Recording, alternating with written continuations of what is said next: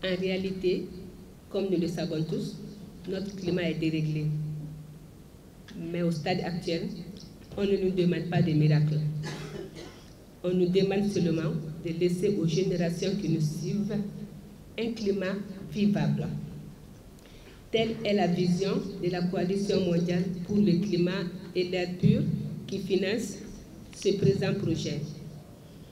Cela passe bien entendu par des actions simples dont la seule spécificité est l'approche.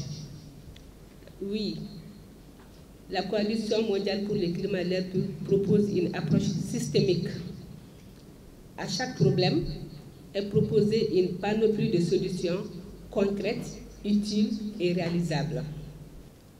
Les polluants climatiques de courte durée de vie sont le puissant gaz à effet de serre et polluants atmosphériques. Ils ont une durée de vie relativement brève dans l'atmosphère par rapport aux gaz à effet de serre à longue durée de vie, tels que euh, le dioxyde de carbone.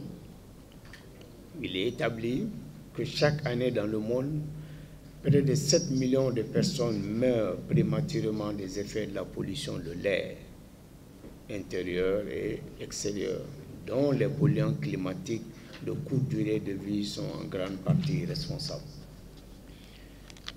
En outre, les projections climatiques indiquent que la mise en œuvre des mesures contre le black carbone, le méthane et l'ozone pourrait réduire la hausse des températures de 0,5 degrés à l'échelle de la planète d'ici 2050 et de 0,7 degrés dans l'Arctique d'ici 2040 et prévenir chaque année plus de 2 millions de décès prématurés et des pertes de récolte de plus de 3, 30 millions de tonnes d'ici 2030.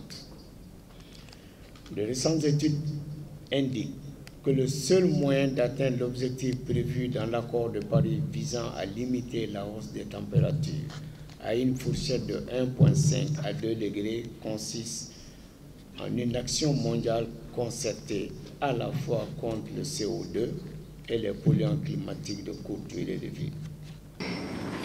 pays,